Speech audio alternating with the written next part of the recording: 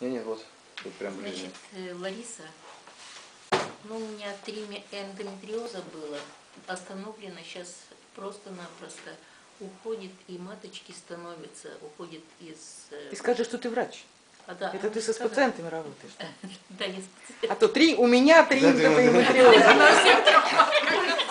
На Ну, любой, на любой сезон, да? знают, все знают, просто получается так, что работая с людьми, уходит то, что они не ожидали.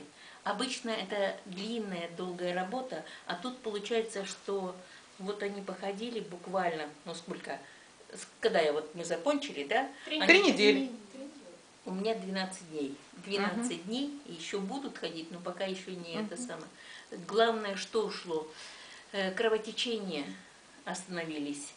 Ушли э, именно, что матка, она, вы знаете, что она увеличивается, и она стоит таким большим колом, ничего с ней нельзя сделать. И тут получается, что маточка уменьшается, становится красивой, встает в своей форме и останавливается, уходит именно то, что было в середине. Понимаете?